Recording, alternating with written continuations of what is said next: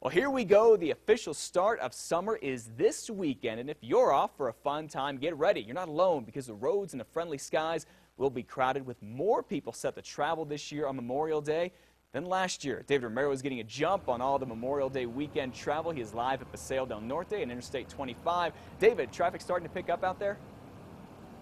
Yeah, it's about usual for a Friday morning. Uh, we're pre-rush hour now. We're coming up on it within about uh, 30 to 40 minutes, and it's looking good so far.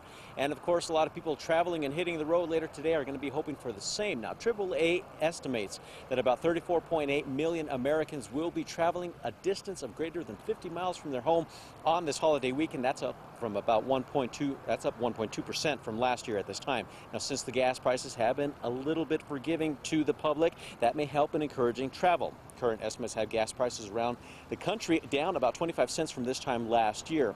For people going long distances by air, that may be a bit of good news and bad news, and of course the ones by traveling by the road as well. That's because car rental rates are dropping, but hotel rates are on the rise. Even though AAA predicts a decline in airline travel by about 5.5%, the Sunport in Albuquerque is still expecting a lot of people to pass through their doors this weekend.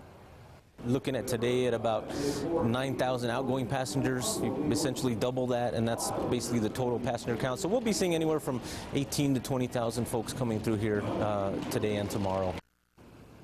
We've been telling you this all morning. The best recommendation for traveling by the road is to leave very early and avoid those rush hour times when people are getting to and from work. And of course, if you don't make that window, the next best bet is to leave in the middle of the day when it's a little bit lighter. And of course, after the evening rush hour, sometime after 5 or 6. And of course, the same applies to those going to the Sunport. You want to get there early and get all your baggage checked in.